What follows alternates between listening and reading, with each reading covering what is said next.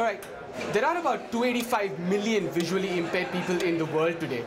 Visually impaired people lead a very limited independent life, not just because of their physical disability, but because of the inability to access visual information around them. I'm Karthik, the co-founder of Envision. Envision is a tool that helps people with a visual impairment to live more independently using AI. It can help them read text, recognize faces, objects, and so much more. Envision is currently available as a smartphone app, and we're in the process of porting it to work with smart glasses like the one I'm wearing right now.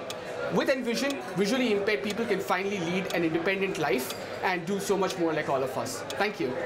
Cool.